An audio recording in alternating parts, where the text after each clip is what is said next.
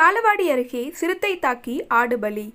தொடரும் கால்நடை வேட்டையால் விவசாயிகள் பீதி. ஈரோடு மாவட்டம் சத்தியமங்கலம் புலிகள் காப்பகத்திற்கு உட்பட்ட தாளவாடி வனச்சரகத்தில் அமைந்துள்ளது.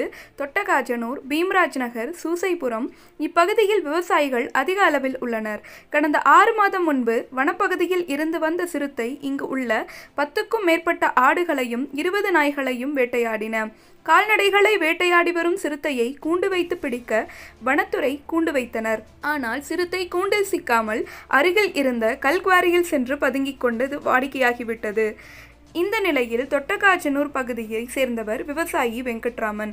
ஆடு மாடுகள் வளர்த்து வருகிறார். நேற்று இரவு கல்குவாரியில் இருந்து வந்த சிறுத்தை இவரது ஆட்டை கடித்து கொன்றது. இது பற்றி வனத்துறைக்கு தகவல் தெரிவிக்கப்பட்டது. கால் தடயங்களை ஆய்வு செய்த வனத்துறை சிறுத்தை கடித்ததை உறுதி செய்தனர். இந்நிலையில் இன்று மாலையில் ரங்கசாமி என்பவர் காவல் நாயை சிறுத்தை கவ்விச் சென்றது.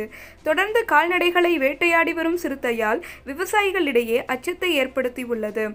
மனிதர்களை தாக்கும் முன் சிறுத்தையை வனத்துறையினர் பிடிக்க வேண்டும் என விவசாயிகள் கோரிக்கை வைத்துள்ளனர். அதேபோல் கடந்த ஆறு மாதமாக சிறுத்தை வேட்டையாடி இறந்த கால்நடைகளுக்கு வனத்துறை சார்பில் எந்த இழப்பீடும் வழங்கப்படவில்லை என விவசாயிகள் குற்றம் சாட்டுகின்றனர்.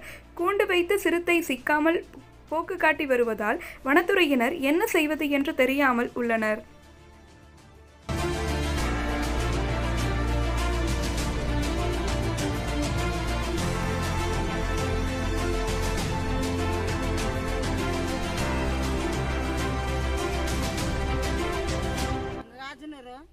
தாவடி பக்கா அப்புறம் ஆட்டு மாடையில வச்சிருந்தா அப்புறம் நைட்டு ஒன்பது மணிக்கு வந்து சிரிச்ச வந்து பிடிச்சிட்டு கொண்டு போயிருந்தது.